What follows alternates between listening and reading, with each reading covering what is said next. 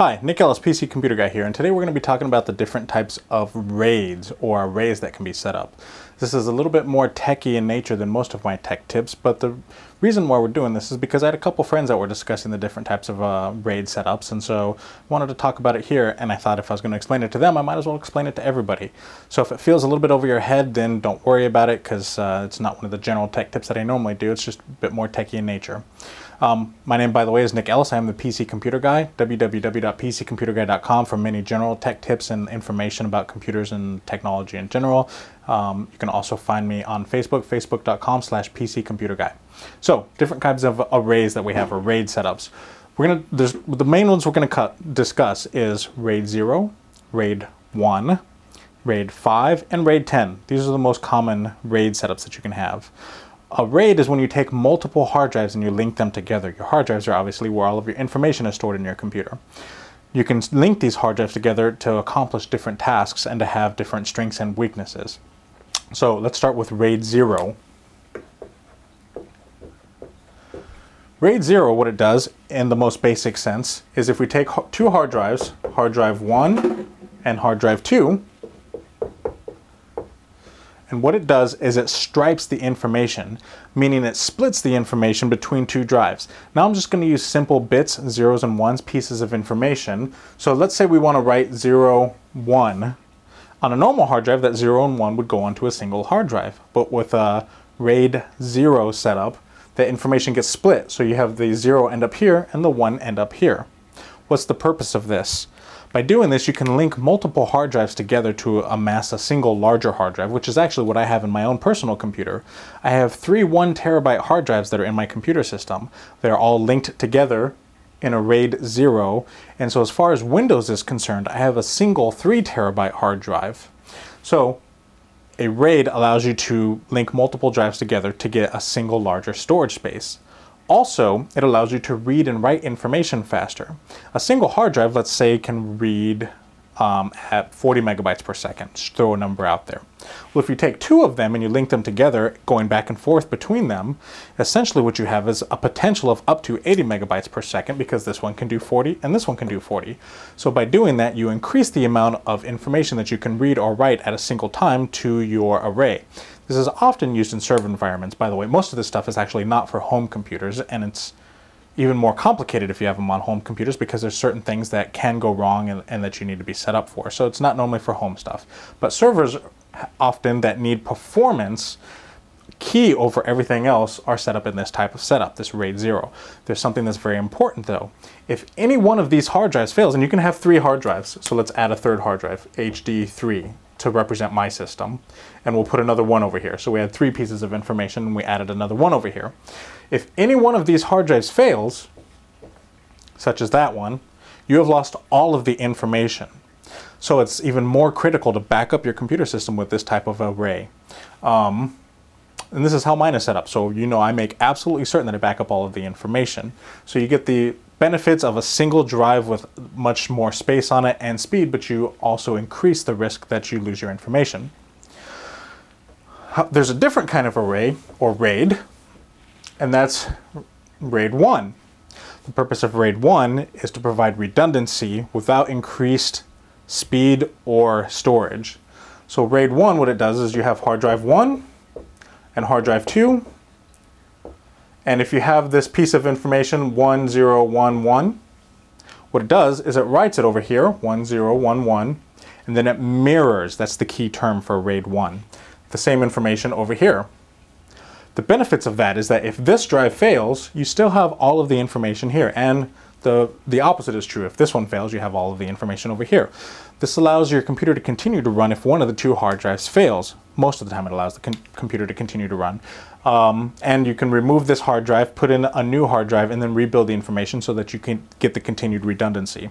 So this is for a kind of system that needs to be up or available as much as possible, but does not have the high performance needs that we have for the striped array.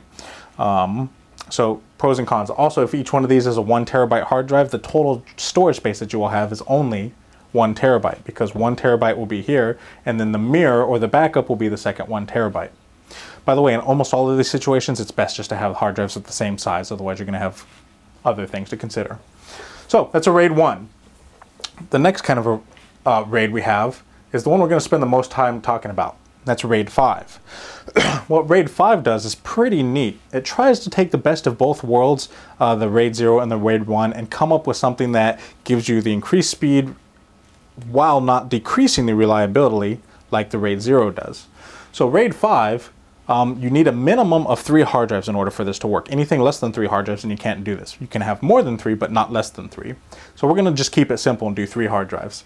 So we'll have hard drive 1, hard drive 2, and hard drive 3. Now, you, let's say each one of these is one terabyte for each of these drives. They're all one terabyte. So in a regular RAID 0, you would have three terabytes of storage space, correct? Right.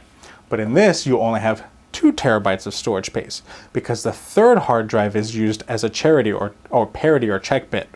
Now, it's actually not the case that the third one, it's actually distributed among all of them, the parity bits, but we're just going to keep it as simple as possible and pretend like it's all stored in the third one. It's kind of irrelevant to understanding it. So we would have, let's have uh, an example here. We have piece of data, 1, 0, that we want to write on these two drives. So we'll write the 1 here and the 0 here because it splits them up similar to a RAID 0. This third hard drive here, what it does is it acts as a sum of all of the other uh, bits that were written. So 1 and 0 in binary equals 1. Let's have a second piece of information. Um, let's do 1 and 1. And that equals, in binary, 0. And then we'll do the other possible situation, 0, 0. So these are all pieces of information being written to hard drive 1 and hard drive 2 in that increased speed. The th 0 plus 0 is going to be 0. So why do we do this? Well, what we have is if any one of these hard drives fails, it can be any hard drive. So let's pick one, any, mini, miny, mo, this guy, okay? So I'll say that this guy failed. Hard drive two has died. The computer continue, can continue to operate even if one of the hard drives fails. Well, you might say, how is that possible? Our information is gone. The information itself is gone, but the uh, what we can abstract from it isn't. If hard drive 2 is gone, the computer can calculate, or the RAID controller can calculate, hard drive 1 had a piece of 1, or had a bit of 1, and the check was 1. So that must mean that this hard drive had a 0 there, because if it was a 1, then this would have been 0 as the checksum. Uh, counting in binary, if, you, if you're not understanding this part, look up counting in binary. It's a little out of the scope of this, but so since we had a 1 over here, we can abstract that this was a 0. Same thing here. This was a 1 and this is a 0. And so if this is a 1 and this is a 0, this must have been a 1 because 1 and 1 rolls over to 0 in binary. And the same thing here. We have a 0 here and a 0 here, so this must have been a 0. You see, if it was a 1, 0 plus 1 would have been 1, so it can't have been 1. So what the array, the RAID controller can do is calculate what the information used to be. And it does that on the fly in most systems so that even if one of the hard drives fails, you will continue to operate. Now you do pay a price for that. All that calculation slows down the, the read and write of the computer and potentially does it significantly. So you definitely want to get that hard drive replaced. But the business will continue to function or the information that you need from the computer will still be retrievable if one of the drives fails. So while you have reduced the total amount of storage that you can have among them, you also have some redundancy in place so that any one of them can fail and the information can continue. The really neat thing is if this hard drive fails, you pull it out, you put in a new hard drive too, and in most controllers, it automatically rebuilds the information, and once the information is rebuilt, you're back to full speed again. So, I mean, it's pretty sweet. The same thing is true if you have four drives, five drives. that's the exact same principle. You just do the math and you figure out what piece of information is gone. Now, if you notice, that requires, uh, to do this, you can see now why it requires three and no less than three. But here's the thing. If two of the drives fail at the same time, you've lost all the information. So again, even though you have something like this, you should back up. That's one of my key principles, good antivirus and backing up. So it's still possible to lose the information if two drives fail at the same time, but it's not very likely. So you're gonna get the reliability of your system being up almost always and the speed increase of writing the information between these two. Um, it does have to do the math every time in order to calculate the parity, so that does slow things down a little bit, but it's still faster than a single drive working by itself. And then the last one, there's RAID 6, which allows for, it's basically the same thing, just a more glorified version of it, more check bits that allow two drives to fail without losing the information. But you also sacrifice the amount of storage even more. The last kind that we're going to talk about is 10. And we're only going to talk about it briefly. It's a little bit complicated. It's just easier if you see a graph, but I'll try to draw it out here. RAID 10, what it tries to do is it links uh, RAID 0 and RAID 1 together. So remember, RAID 0 stripes the information, which means that it um, splits it up for speed speed sake. So your 0 and 1, 1, 0, it just goes, goes back and forth between the two drives. But instead of going to a drive here like we did in the first picture, it actually goes to another RAID. So here you have RAID 0 that's striping the information between these two spots, but here you have a RAID uh, 1, and here you have a RAID 1 which if you remember, are the mirrored arrays. So you have, we'll say four hard drives, hard drive one, and then you have a mirror of hard drive one over here, and you have hard drive two, and a mirror of hard drive two. So there's four physical hard drives here, and the information from this RAID is being written back and forth between the two, so you get the speed of that. And then this is being mirrored to this one, so that if this drive fails, it has the information here, and the flip side is true, same thing over here.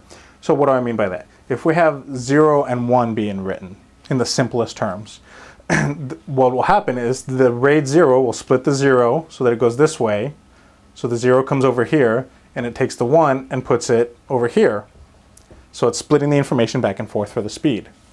The RAID 0, the RAID 1 over here is making a mirror of it. So this copies over to here, and this one copies over, that's a 1 right there. This copies over to here so that's the RAID 1 mirroring the two drives. So you see you get kind of the best of both worlds, but it, but you do have, you sacrifice something from this too. Here we have four hard drives. Let's say each one of those hard drives is one terabyte. So we have one, two, three, four, four potential terabytes of storage, but really you will only be able to use two terabytes because each one of these mirrors takes away half of that. So over here you have two terabytes between the two, and over here you have two terabytes, but split it in half because it's mirrored. So you only have two te one terabyte useful over here, one terabyte useful over here, combined together to show you two terabytes of information. So with this kind of setup, you could have one or even possibly two hard drives fail and everything can continue to work at full speed. Whereas RAID 5, it would continue to work but be slower. This will continue to work at full speed so long as you don't have a catastrophic failure of two of these, and, and I'll show you. Over here, we can have this one fail, and we can have, and then everything will continue to work because it'll be able to pull all the information that it needs from here and get the equivalent back and forth. So it'll still be able to do this back and forth thing right here. And if this one fails, it'll still be able to do the back and forth that it does from RAID because it still has all the information that it needs from this drive and this drive. So you can see it, one drive can fail or two drives can fail and things can continue to operate. But let's say that this one is still okay. So there are situations where two drives can fail and you lose all your information. So this is hard drive 2, hard drive 2. Well, this one, so these two, let's theor our hypo hypothesize are working right now. And this one right here, hypothetically speaking, sorry, this one right here has failed. Well, if this one fails, now you have two drives failed. Remember before two drives failed and you were okay.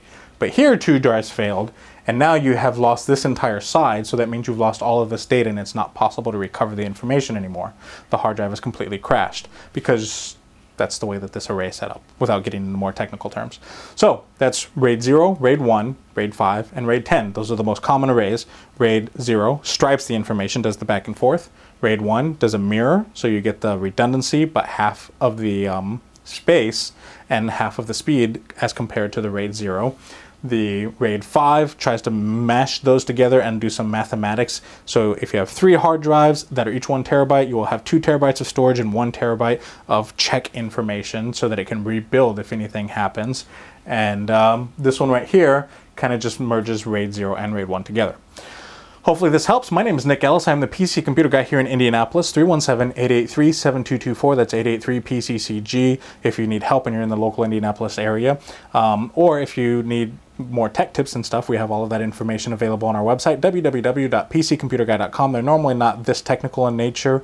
Um, this is just a discussion between friends that I thought I'd make available to everybody else. So thank you very much, and until next time, have a good one.